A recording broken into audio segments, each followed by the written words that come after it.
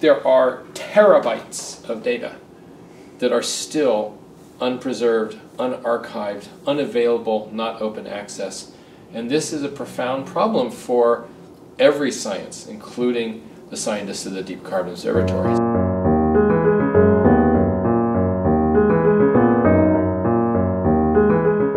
We are doing in the Deep Carbon Observatory fundamental discoveries in biology and deep life, in organic chemistry, in the deep energy sources. We're studying how the carbon moves from one reservoir to another, how much carbon is there. And so you need to be able to integrate the data, the data resources, into an infrastructure where all of these kinds of data can sort of essentially see each other, to talk to each other. You can ask new questions.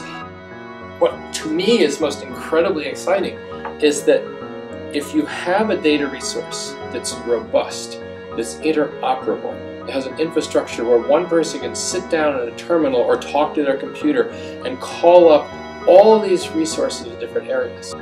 That data then becomes a scientific instrument in and of itself.